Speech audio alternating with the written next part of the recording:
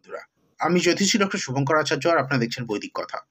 আজকে বৈদিক কথাতে বলব আপনাদের এমন কিছু কথা যেগুলো বহু সংসারে কিন্তু আমরা ফেস করি।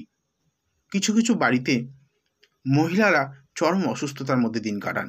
প্রায় ছোটোখাটো অসুখ, ছোটোখাটো সমস্যা লেগেই রয়েছে বাড়িতে পারিবারিক অশান্তি এবং অযথা কারণে তাদের বাড়িতে মৃত্যু হানা দিয়েছে। তো এইরকম কোনো ঘটনার মধ্যে দেখবেন নৈরিতকোণ বা সাউথ ওয়েস্ট কর্নার যদি কোনো কারণে বাস্তুমতে সঠিক না থাকে, অর্থাৎ নৈরিতকোণের বাস্তুদোষ কিন্তু এই ধরনের সমস্যা সৃষ্টি করে।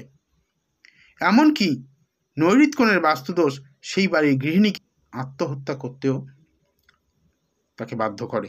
ভিডিওটি ভালো লাগলে শেয়ার করুন এবং আগামী দিনে আরও ভালো কিছু ভিডিও পাওয়ার জন্য পেজটিকে ফলো করে রাখুন। আজকে এই পর্যন্ত। ভালো থাকবেন। জয় মা তারা। বন্ধুরা, আমি জ্যোতিষী ডক্টর শুভঙ্কর আচার্য আর আপনারা দেখছেন বৈদিক কথা। আজকে বৈদিক কথাতে বলব আপনাদের এমন কিছু কথা যেগুলো বহু সংসারে কিন্তু আমরা ফেস করি। কিছু কিছু বাড়িতে মহিলারা চরম অসুস্থতার মধ্যে দিন কাটান।